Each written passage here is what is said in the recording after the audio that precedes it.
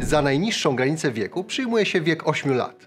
Musisz być pewien, że twoje dziecko jest już na tyle świadome i odpowiedzialne, że zrozumie zasady pielęgnacji soczewek, rąk i oczu. Dla najmłodszych rekomenduję tylko soczewki jednodniowe, które gwarantują większe bezpieczeństwo.